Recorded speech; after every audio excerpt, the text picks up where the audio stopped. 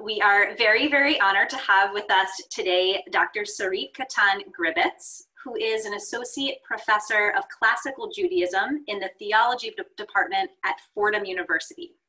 Her first book, Time and Difference in Rabbinic Judaism, which is the book she, she will be talking about today, um, was published by Princeton University Press and received the 2020 National Jewish Book Award in Scholarship. Um, so thank you everyone for joining. There will be time for Q&A at the end.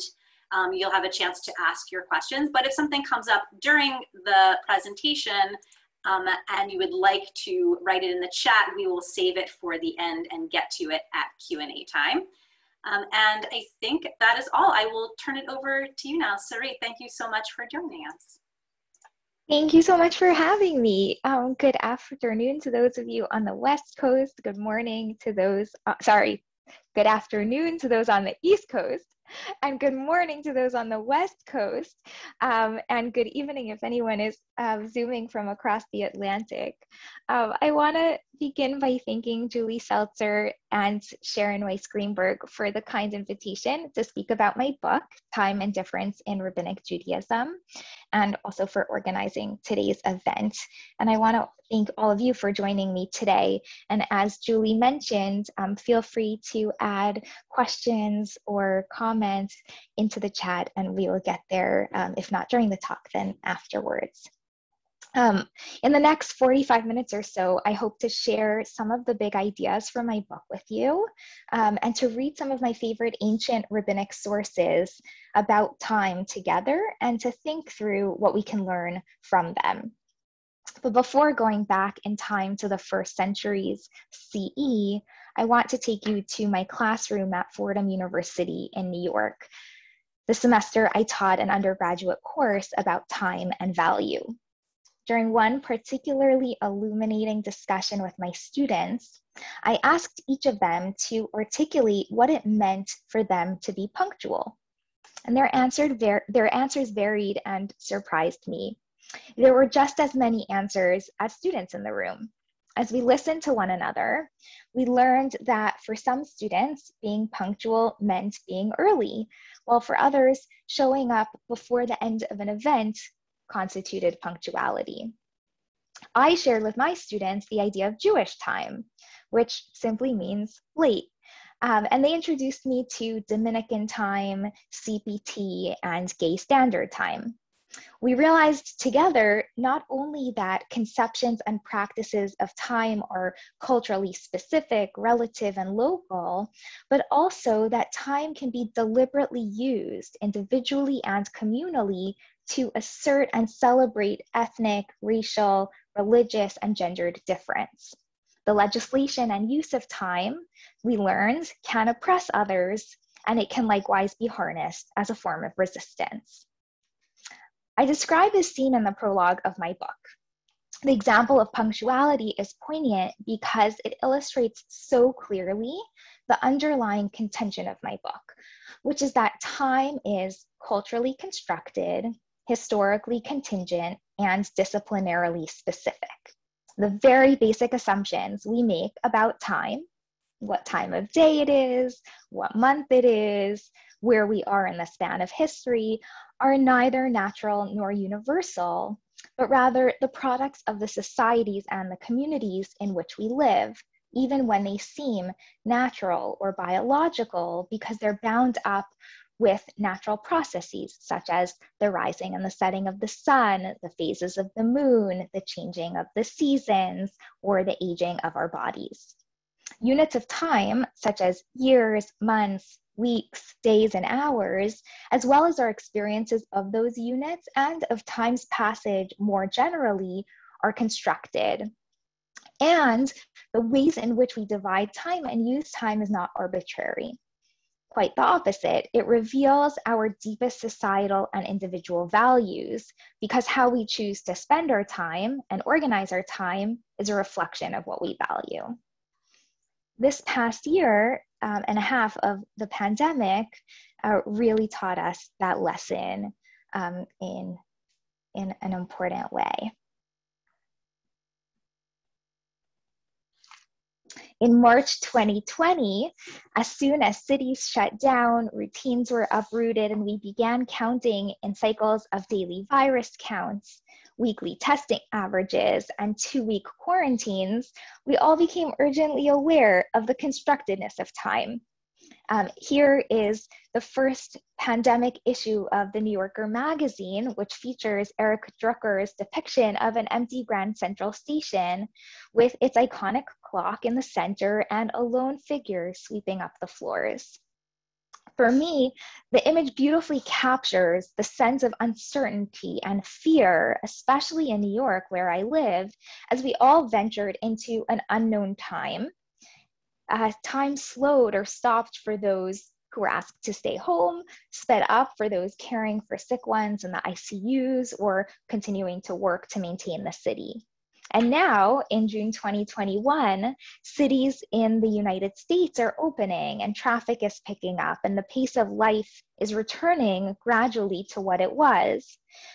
But what's different is that we have a really acute sense of the way in which our conceptions and experiences of time are anything but inevitable. And so the pandemic for me as a scholar of time um, helped to highlight um, how time matters for who we are and how we live, and that to understand a society, past or present, um, we can examine that society's conceptions and organizations of time.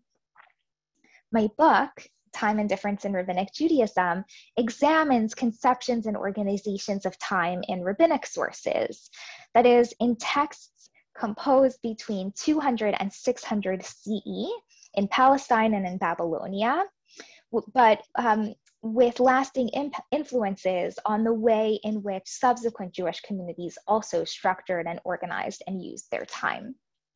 And in the book, I argue that the rabbis of late antiquity used timekeeping and discourses about time to construct particular social, political, and theological difference. So they these texts they articulate conceptions and structures of time that promoted and i give four examples in my book different differences imperial difference that distinguished roman time from rabbinic time communal difference that distinguished Jewish time from Christian time, gender difference that divided men's time from women's time, and theological difference that con- contrasted the time of humans with God's time.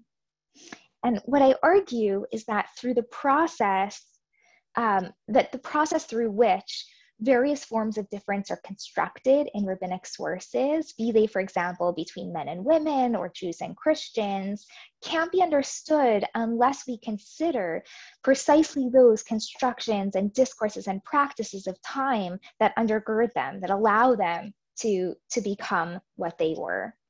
Um, and that's because time is this powerful mechanism uh, through which communities can forge identities and construct differences. Um, uh, the, the, best example for this is, um, is the one of calendars, right? A, a community can create a calendar um, to put its members on the same time, but if that calendar um, stands in contrast to another community's calendar, it also functions as a way of separating one community from the other. And rabbinic sources recognize the distinctions in, in time reckoning and how they differentiate or are able to or have the power to differentiate between Jews and others. So here in the source that I'm showing you now, the Mechilta de Rabbi Ishmael, an early rabbinic midrash, um, we have a, a, very explicit articulation of the awareness that the way in which a community uh, uses its time um, and organizes its time functions to separate them from others. So this midrash states that a solar eclipse is a bad omen for Gentiles, and a lunar eclipse is a bad omen for the people of Israel because the Gentiles reckon time by the sun and Israel reckons time by the moon. And in this midrash in particular, there's a theological dimension. The midrash explains that um, the Israelites lift their eyes to the heaven when they observe the new moon, and this creates this um, bond with the divine. Um, And, and so it shows how um, here the calendar is this mechanism for differentiation um, the solar and, and the lunar months belonging to different communities. And so by using a lunar calendar, the rabbinic source explains that that's one of the ways that Jews become their own community in, um, in a context in which everyone around them is using the sun. Um, the Midrash notes also um, that there, there are different chronological systems, so different ways of understanding world history and that biblical sources usually count according to their own era. That's a quote. When they date events and references to the Exodus or the temple's construction or destruction, but that they also occasionally count according to the era of others, meaning um, dating events relative to the start of foreign rulers. And the Midrash dramatically argues that relying on the times and histories of others rather than on Israel's own history and own era diverts Israel's devotion from God and eventually leads them to subjugation and oppression under the very authorities upon whose time they rely. So here the Midrash argues both for the importance of the lunar cal- calendar in terms of constructing a, a community and also on um, a particular type of chronology where you use events in Jewish history rather than in general history in order to keep um, yourself separate um, from others my book um, introduces uh, begins by introducing readers to um, the complex topics of time and difference and their intersections. And then in the introduction, um, I turn to the historical and political and cultural context of rabbinic sources. Um, but rather than giving um, like a general historical overview, I tell it as a history of time, highlighting the specifically temporal aspects of Jewish, Greco Roman, and Christian contexts in which the rabbis lived and thought and wrote. And I argue that um, the Jerusalem temple, on the one hand, functions um, not only as a spatial center, which is often how we think about it as this important building in the middle of an important city, in the middle of an important land, but that the temple was also a temporal center um, that it organized time for the people in the city, but also conceptually organized time both on a calendrical basis, on a weekly basis, but also on a daily basis for those who lived very far from the temple. And so the, the destruction of the temple in 70 precipitated not only a spatial trauma, but also a temporal trauma that disrupted the way in which time was conceived, anticipated, experienced, and that left a practical and a philosophical void, a temporal void that the rabbis tried to fill. And so, those who regarded the temple's destruction as a catastrophe um, and as this enduring loss, one of the things they had to do was to reimagine and reconfigure how time was divided and marked and used on a daily basis. And to give new meaning both to the hours and days and weeks and years, but also to the times in which they lived. And so um, that's one of the historical contexts of, uh, of the study, but there are two others as well. Um, and the second is the Roman calendar, which had recently been reformed by Julius Caesar, um, and that played an increasingly prominent role in the region, not least because after the destruction of the temple, there were many Roman legions that were um, stationed um, around Jerusalem and in the province more generally so there was this context of Roman time, Roman calendars, and especially thinking about the importance of calendars and of time as the rabbis themselves were thinking about these topics. And then, thirdly, the growing Christian communities that slowly began instituting their own times of worship in their own attempt to differentiate themselves from other Jewish communities. And so that effort at creating a community in part through time was something that the rabbis grappled with too. And we see um, in, in, rabbinic sources, to which we're going to turn in a moment, um, how the rabbis really grapple with these three sort of interconnected contexts of the Jewish late antique context, the Roman imperial context, and then the emerging Christian context.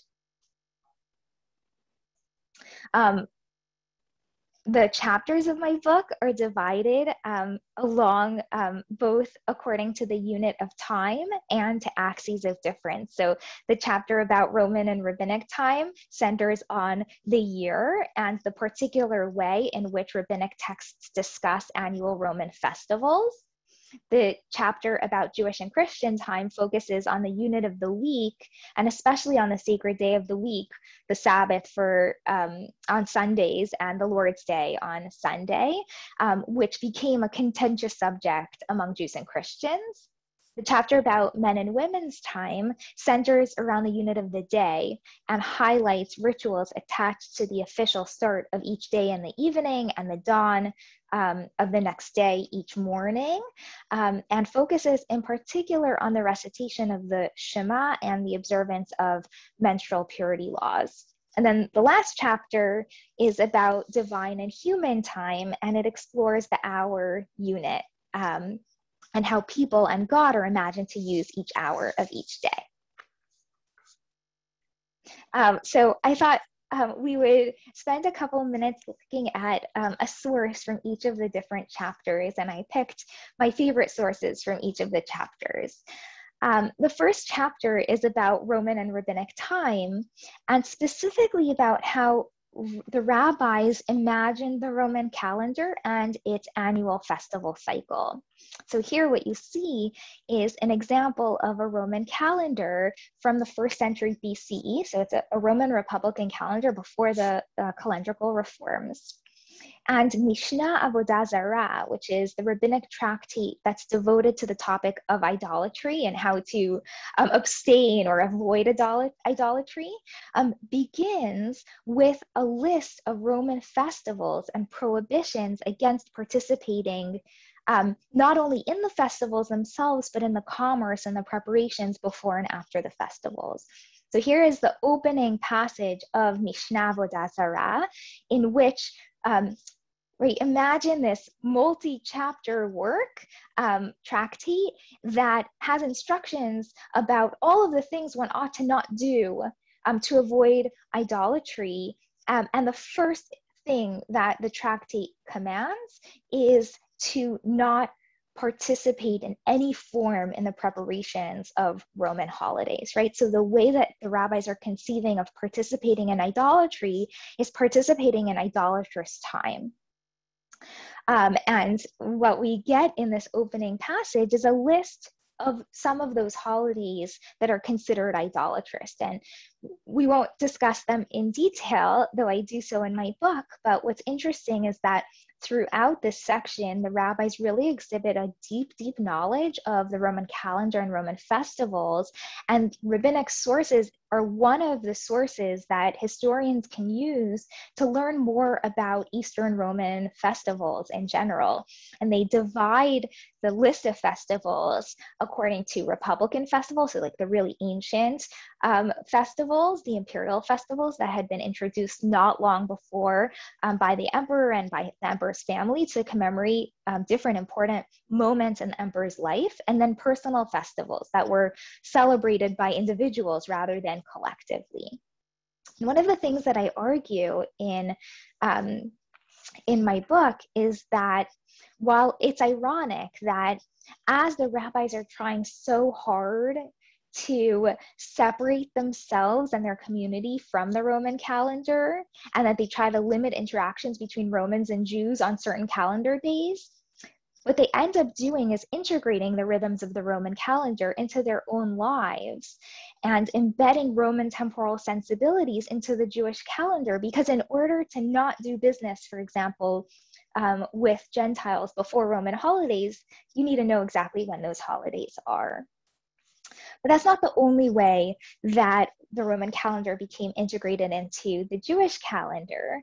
Um, there are also um, in the Palestinian and in the Babylonian Talmud extensive questions about what the meaning and the history of each of these Roman holidays it are um, and um, and what what you notice when you read them is how the rabbis tell their own version of Roman history. So let's have a look.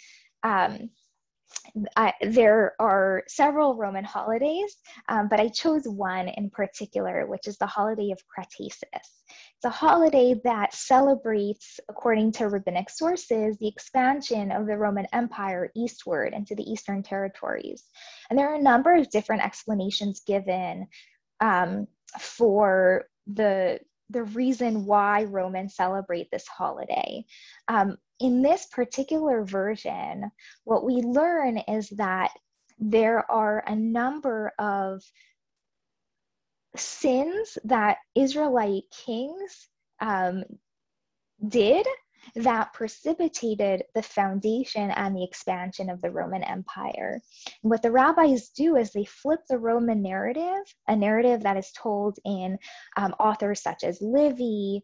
Um, and Plutarch and others about the founding of the Roman Empire, which was celebrated on a particular day um, or several days in the Roman calendar, and they tell a rabbinic version of that founding. So um, in the beginning of the story, um, the the first part of Rome's founding, uh, the, the rabbinic text reads, um, it's the day on which Solomon married um, the daughter of Pharaoh Necho, king of Egypt.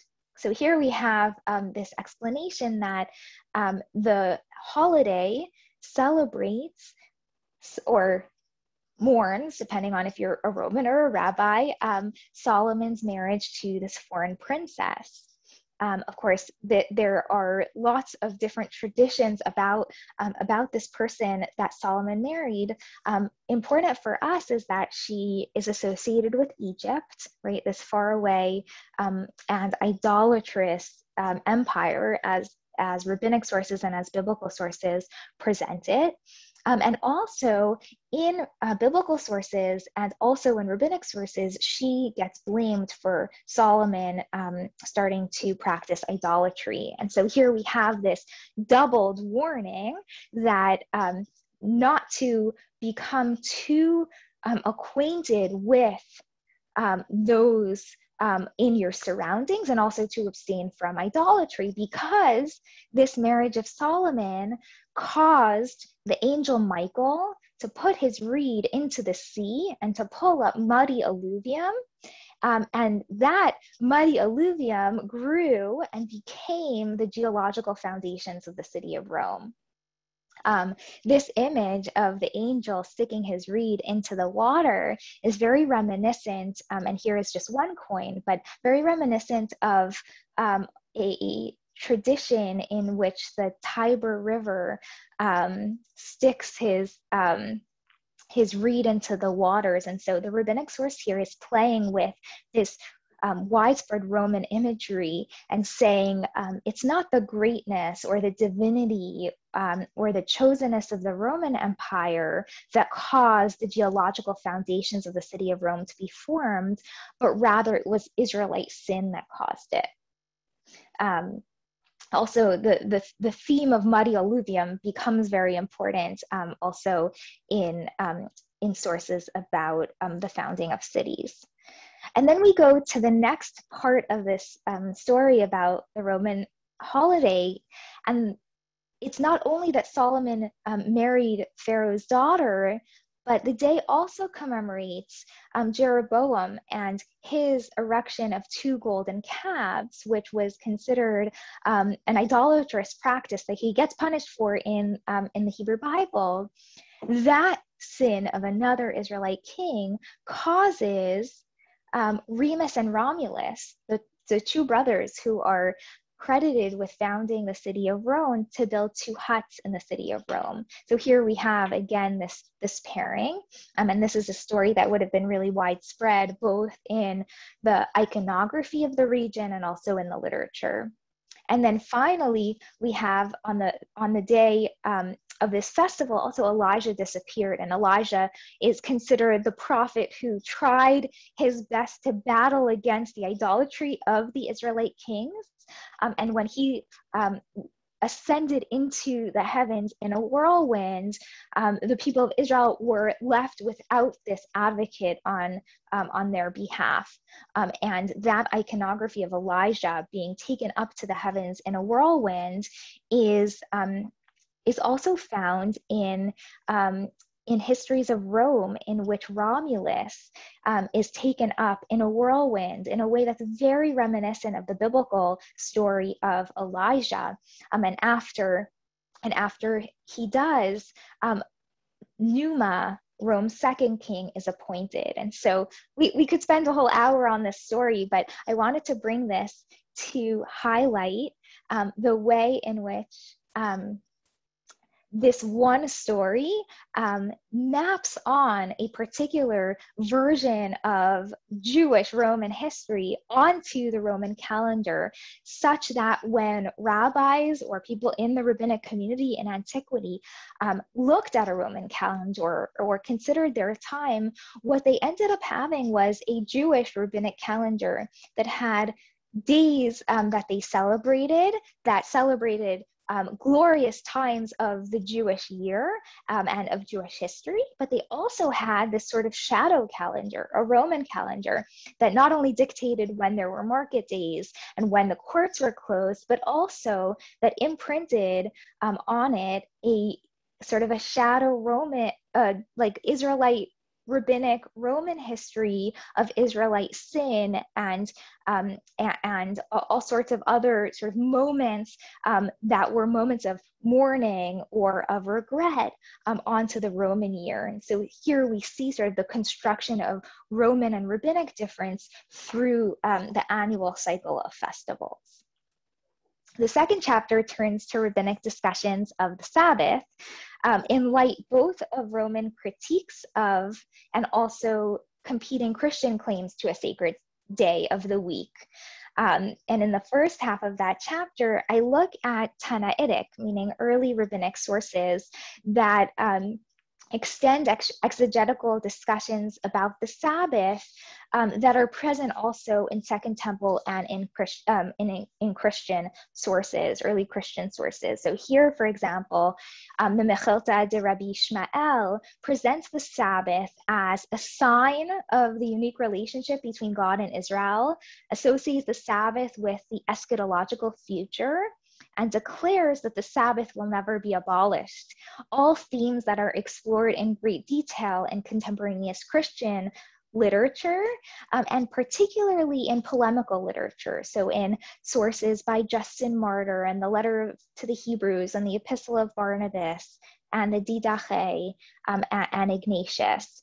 Um, and so, um, what we see here is the way in which the rabbis start talking about the Sabbath is both in light of earlier intra Jewish conversations about what the Sabbath is and why to observe the Sabbath, but also sort of in view of what other people are saying about either the Sabbath or about another day of the week um, that became important. The second half of the chapter looks at a, a series of rabbinic stories, and that's um, what I want to focus on uh, for the next couple of minutes um, that are found in fifth and sixth century rabbinic midrashim that um, explore the Sabbath in all sorts of interesting ways um, that promoted the day as a day with distinct qualities that were inherent to it and that I think were used to persuade Jews um, that they should be proud of the Sabbath, they should be excited to celebrate the Sabbath, um, and that they shouldn't um, be susceptible to the criticism that they were hearing from both Roman Christian and non Christian um, interlocutors about um, Jews being lazy or the practices of the Sabbath being um, disgusting or immoral, and, and so on. And so um, this here um, on the slide are um, two um, of many laws regarding the Sabbath that were introduced in the fourth century and that um, were reintroduced and elaborated in the later fourth century and in the fifth century onwards about Sunday. Um, and so the, these stories um, in the rabbinic sources are written in a context in which the empire that they were living in was grappling with promoting a sacred day of the week, but it wasn't the same sacred day. So, this is my favorite story. Um, it's a story that some of you might have heard before. It's about delicious food on the Sabbath, and it's from Genesis Rabbah. And it's an interpretation of a passage that says that God blessed the Sabbath. And the question at hand is how did God bless the Sabbath? Like, what does that mean? In what way is the Sabbath special? And in this particular answer, we hear that um, the Sabbath is special because the food is delicious. Um, it's a story about um, Rebbe, Rabbi Yehuda Hanassi, who um, makes a meal for the emperor Antoninus on Shabbos. So um, the emperor stops by the rabbi's house.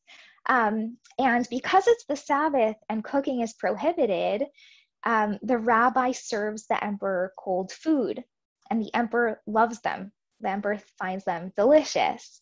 And then the emperor makes the sorry the, the emperor returns for another meal because the first one was so good um, on a, a different day of the week and so the rabbi is able to, to cook fresh food and is able to serve them hot.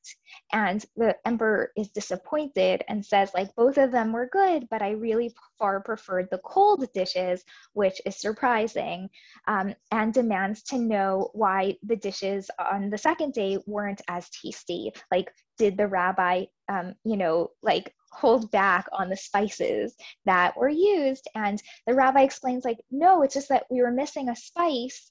And the rab and the roman emperor says what do you mean you were missing a spice? Like i could get you anything that that you need. And he says no you can't actually get me this spice. It's called shabbat. Um, and it's a play on words because shin bet uh, taf also um, is the word for dill. So it sort of plays around with this story, um, and it's a it's a playful story. Um, the two images I have below are of two children's stories that were um, published, you know, in, in the last couple years and last couple decades. Um, it's a story that's still told. Um, and what I think is um, really interesting about this story is that, first of all, food and the use of food in the celebration of the Sabbath is actually not such an old idea. It's one that really develops in the first century. We see mentions of it, the earliest references in, in literature, in Jubilees, and in Josephus, but it becomes a theme in rabbinic sources. Um, and, um, and the second is what um, it, it it sounds like a children's story um, when when it's told, um, but I actually think that it is in conversation with and and really an answer to very widespread polemics in the fourth and the fifth centuries that um, highlighted um, and disparaged Jews for um, celebrating the Sabbath in ways that didn't honor the day and that sort of displayed why Jews were carnal um, and lazy people, as opposed to both um, the Christians who celebrated their sacred day in a spiritual way, or Romans who were industrious and, and not idle. And so, here, um, for example, in the first source, we have um, the idea of Jews celebrating um, by eating day old foods and drinking lukewarm drinks um, and, and, other other things that that Jews do, um, and that becomes a theme that um, the Sabbath is cold because you can't kindle a flame. The food is cold um, and rotten. And here you have a story in which the Roman emperor affirms that the food on the Sabbath is the most delicious food that he has ever tasted and that can't be replicated um, even by the emperor's pantry. Um, and so, and other stories in the same sections of Genesis Rabbah and in the Babylonian Talmud describe, for example, the rewards that people receive who honor the Sabbath. Um, they stress that food can be a vehicle for the sanctification of a special day rather than um, a way of, of showing disrespect for it. And it, it matches very much um, what Jews might have been grappling with um, and might have been also um, not as confident about their own Sabbath practices. So, more than a feel good story about delicious food or a humorous story, um, told for entertainment, I think it's told um, in this context of the Constantinian Sunday laws, critiques of um, Christians and pagans, and um, understood as this rabbinic attempt to make the Jewish Sabbath more attractive to other Jews, to encourage them to celebrate the Sabbath and so on. Um, and I'll skip that. Um, the third chapter tracks the construction of gendered time by examining two um, sets of daily rituals that were mandated in rabbinic sources, some of which applied to men and others that were only required by women. And so this chapter begins with the first ritual described in rabbinic sources, um, which you can see on the right side of your screen in the Kaufmann manuscript, um, and that is the recitation of the Shema prayer. So timing, um, for those who have studied the Mishnah, the Mishnah begins with a word, a question about time. From what time can one um, recite the Shema in the evening? Um, and the beginning of the Mishnah's discussion of the Shema is about the, the timing as an essential component of the Shema's recitation. Um, and um, and one's time, the text suggests, has to be marked first and foremost by this regular declaration of devotion to God each morning and each evening. Um, and another feature of the Shema is that only men are obligated in its recitation, right? So we have on the other, on the one hand, it's a ritual that frames the beginning and the end of each day and is very important. And on the other hand, it's only something that certain people in the community are obligated to perform um, and women, um, enslaved people, and children are um, exempt from this practice and also from a whole group of practices called time bound, positive time bound commandments. Um, and so women are kept apart from the central devotional prayer.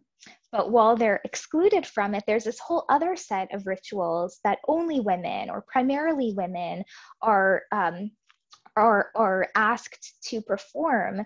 Um, and that is this whole set of bodily purity laws that in the Bible apply to both men and women, but over the course of the rabbinic period become more and more heavily focused on women, um, much to the exclusion of men. And so the second half of the chapter looks at the constructions of women's time through um, the practices of menstrual purity laws um, and the way in which they they parallel and mirror rabbinic discussions about the rabbinic Shema and about time-bound commandments.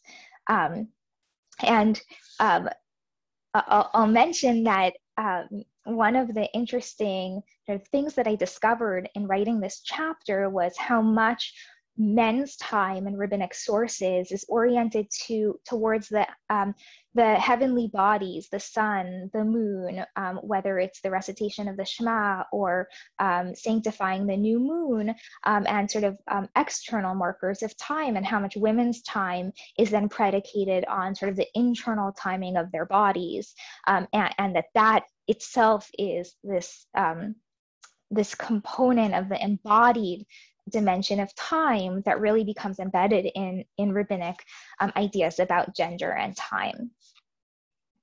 Um, and then, uh, very briefly, my last chapter explores the unit of the day um, and its hourly subdivisions um, and specifically about God's time and the way in which rabbis imagine um, how God keeps time, whether God keeps the same time as humans, um, and how God's time is used in service of humans.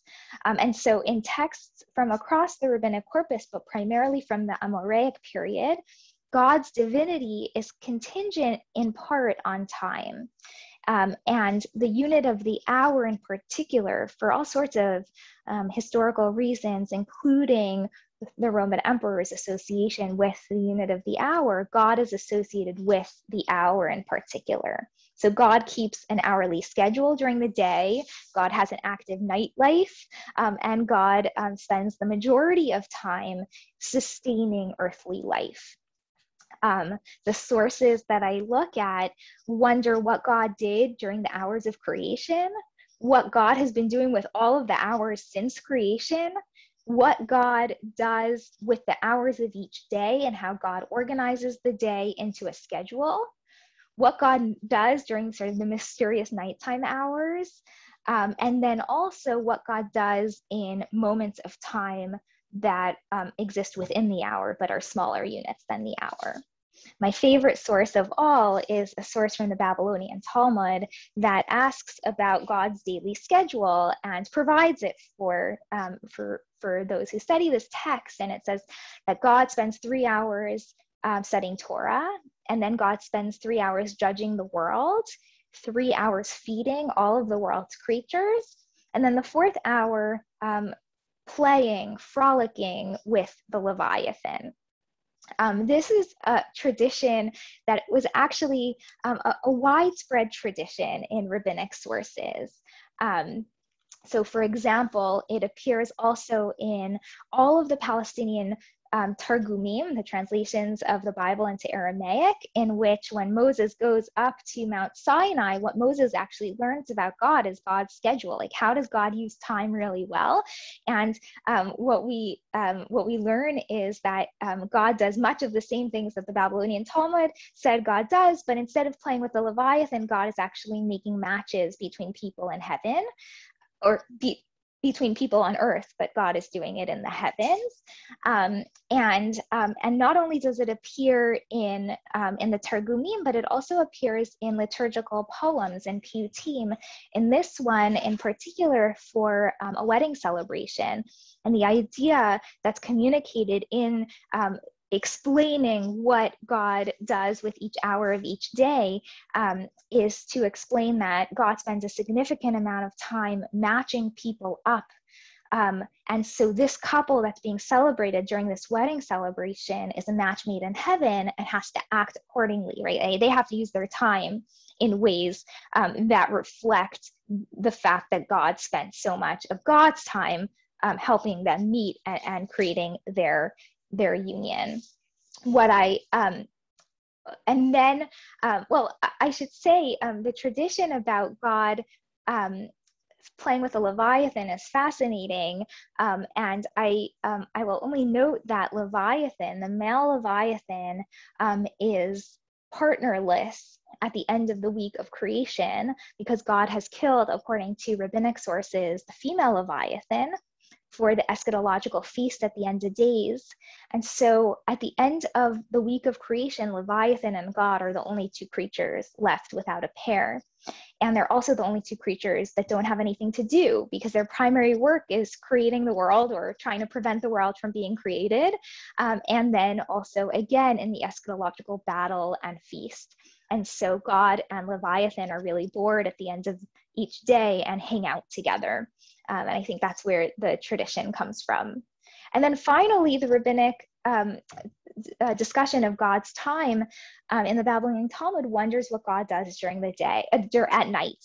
And what's fascinating about this second half of the story is that as confident as it was about what God does during the day, the rabbinic sources have no idea what God does at night. And so we have this mysterious sort of, well, maybe God does the same thing at, during the day as at night. Maybe God is, you know, traversing the heavens and singing with the angels, but we actually don't know. And so it inserts this um, mystery about God's time. That on the one hand, God um, God's time is accessible, and God spends all time um, feeding the people, caring for them, um, except for these limited amounts of time when God does um, leisurely activities. But at night, um, we don't know, and so it adds this mystery. And what it does is really highlight sort of the um, the difference and the similarities between humans and God. That on the on the one hand, they both exist within the same temporal system. They both have years and, and weeks and hours, um, but also that God does things at various different levels that humans can't do, um, and also that God and in, in other sources God is very punctual, God doesn't waste any time, um, and so on. And um, rabbinic sources are um, not often considered the most theological of sources, and yet these are the sources about God's time that we see widespread in um, in all genres of literature um, in Jewish antiquity. Bible translations, homilies, liturgical poems, sermons, and um, I think what we see is sort of the interface between rabbinic scholarship and popular piety, um, comes through in sort of thinking about how does god spend time and how do people spend time right? How what is the perfect way to spend time and how should i spend time? Um, and what does it mean about the world and how it works to imagine how god spends time since creation? Um, by way of conclusion i'll mention that the process of definition and differentiation didn't stop um, at the redaction of the Babylonian Talmud, um, but that um, that they continued. And so these ideas and schedules and laws that were introduced in rabbinic sources and developed in rabbinic sources became normative in the medieval period and in the early modern and modern periods. Um, and that they dictated to various extents the way in which time was organized and enforced and practiced um, in subsequent centuries in Jewish history. Um, and medieval and modern legal literature devote a lot of energy to interpreting um, you know what festivals can and can't be celebrated how to mark the sabbath determining the times of prayer explicating these categories of time-bound commandments and ritual purity and even thinking about god's time which became um, a really popular um, subject in the disputations in the medieval period um, for example. And so um, in other words these conceptions of time that um, that we start to see emerge and form in rabbinic sources end up really um, becoming a temporal map for later Jewish communities. And in my last chapter, I really trace that um, and the way in which even um, Jewish communities today are very bound to the temporal rhythms of, um, of these ancient sources. So I'll stop there and I will welcome um, questions Thank you so much um, for sharing this research and um, and these insights. This is fascinating. There are a few questions in the chat box that came in that I'll read. In the meantime, if folks want to ask questions, you can use the raise hand function, um, or you can let me know via chat that um, you'd like to be, un be unmuted if you can't find the virtual raise hand. Uh, it's on the bottom in, re in reactions um, at least on some devices. So the first question that came in was, does the Babylonian, oh sorry, no, one came in before that. Did the Romans or Greeks view time backwards? That is, did they refer to past events in the future tense? Um, so I'm not exactly sure um, uh, I'm not exactly sure about the question, but I will. I I, I want to um, answer in, with two with two things. The first is um, one article um, that's a really important article about Greek and Jewish time um, is by Arnaldo Momigliano, um, and um, there's like a whole sort of generation of scholars that argued based on grammatical tenses um, in the Hebrew Bible and also in Greek that Jews and Greeks or Jews versus Greeks and Romans had completely different conceptions of time and that Greeks and Romans had really sophisticated um, ways of thinking about the past and the future, um, and biblical sources didn't. And it, it was based on um, like the way that biblical grammar works with tenses. Um, and Momigliano has a great um, a great line about this, um, where he he talks about like it like that that how can you possibly have like an idea of a messiah without a future tense? And that of course like the tenses of a language don't actually tell us much about conceptions of the historical past or the anticipated future. Um, but of course um, that that doesn't mean that greeks and romans and here like we're lumping all these big categories together but um, that there weren't different conceptions of time. Um, what I think I would say is that um, rabbinic sources and, and, ancient Jewish sources more generally have just as sophisticated notions of time, but very different ones.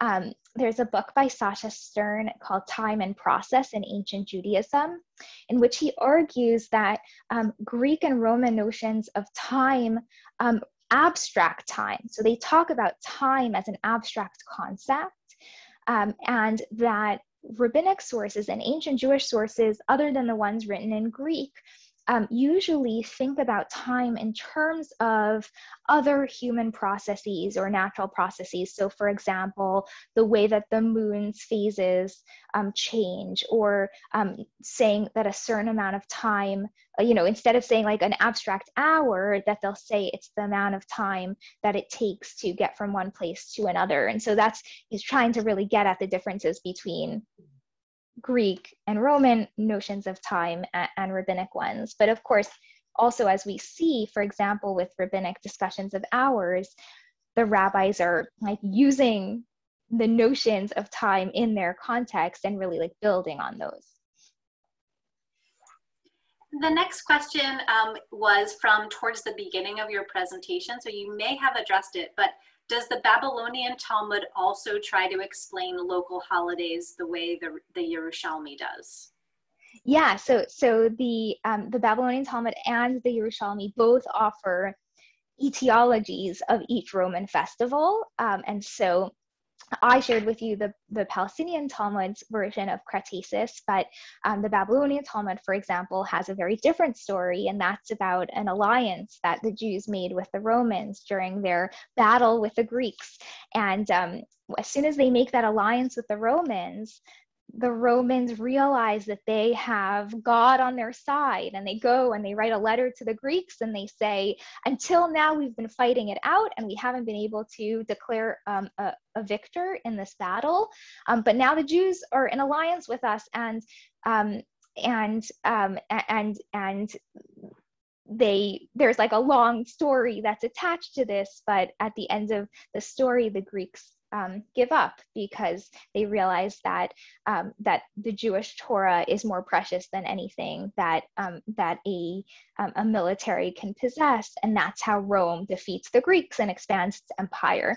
So that's a, very different story about how Jews caused the expansion of the Roman Empire, but not because of Israelite sin, but rather because of Israel, like the Jewish alliance with the Romans. Um, so, so that's one example. There are also examples of um, the holiday of Calends, the Calends of January, which we now know as um, New Year's Day, uh, was a Roman holiday, um, and in that, um, it, the Palestinian and the Babylonian Talmuds both tell a story about Adam, um, the first human, and the way in which Adam got nervous that the world was going to end as each day became shorter and shorter as um, as the world approached the winter solstice. And then as um, as the winter solstice passed and the days became longer adam realizes that it's not a day that the world isn't like reverting back to chaos. It's just like that's the way the world works and celebrates and that's sort of like the original calends and the babylonian and the palestinian talmud have very different um, versions of the story. Um, and so I, I explore all of those stories in, in the book at much greater length of course a couple of people have said thank you so much and that they look forward to reading the book. Um, Amanda comments um, that she's very interested in different sorts of time, particularly different sorts of Jewish time. Um, and I've bought the book, which I look forward to reading. In a few minutes, Prime Minister Boris Johnson will be saying that some restrictions will um, have to continue when it was hoped they would be lifted la last week, sorry, next week. So it works well with your initial slide. Um, are there any other comments or, or questions?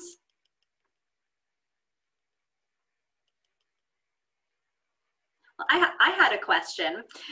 um, is there a sense that we are supposed to model the way we spend time based on how God spends time?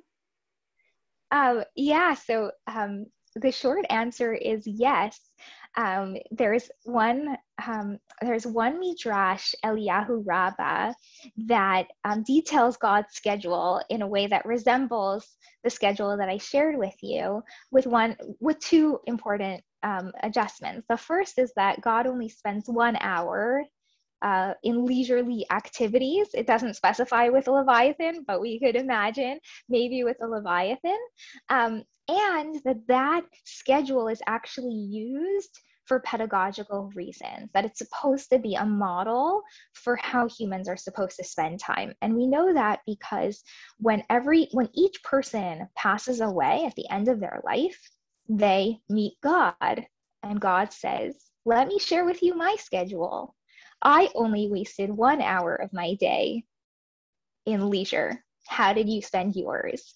And the idea is that um, humans, and especially I think in the context of this midrash, um, the people of Israel are supposed to sort of model the way that God spends time, their own time on the way that God spends time. So some combination of studying Torah and some combination of sustaining creatures and doing charity, as this midrash notes.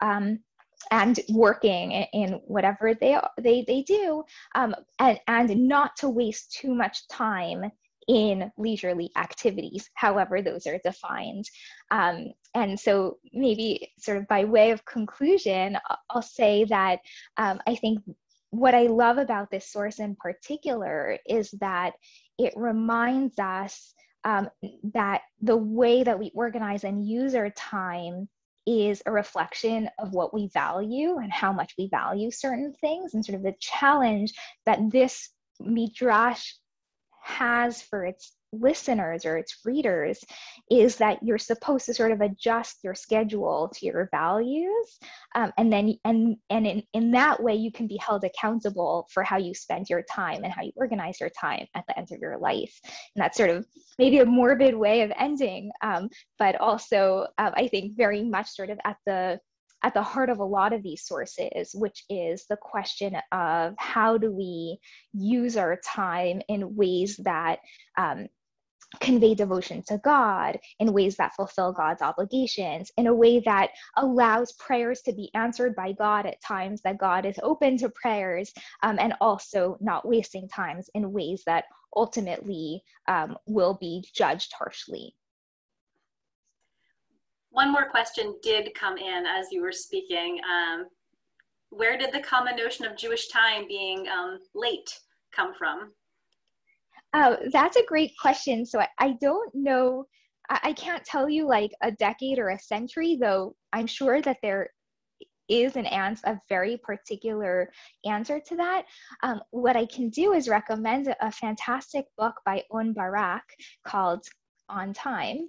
Um, and it's about um, colonial Egypt and the way in which um, Egyptian notions of like time and punctuality being um, delayed um, emerged as what um, Barak calls a counter tempo. So, just as sort of European notions of punctuality and schedules um, come to be associated um, with colonization and um, and imposed um, on Egypt in certain ways that um, Egyptian time sort of pushed back and created this sort of like um, way of asserting identity through time as sort of a form of resistance. And I think um, it's one of the reasons why when I opened the talk and talked about punctuality, um,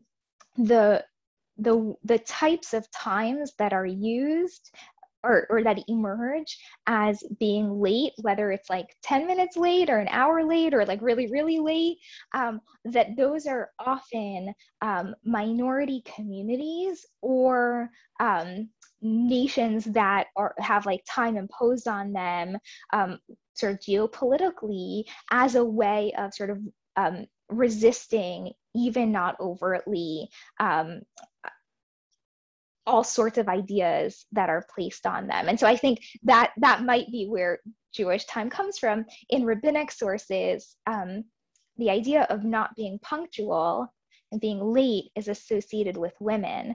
Um, and so that is why for example you can't eat um, uh, chametz, leavened bread, so many hours before Passover because they were a little bit worried that women wouldn't be so good at telling time. So, you know, there, there are notions of like a, a, community asserting its own identity through, let's say, deliberately being late or deliberately not paying attention to the clock in ways that are dominant, but also then sort of discourses of being not punctual as used to sort of um, critique certain groups. And of course you, you see the, the interaction between like the gendered and the racial and the ethnic sort of coming together in, in all of those ways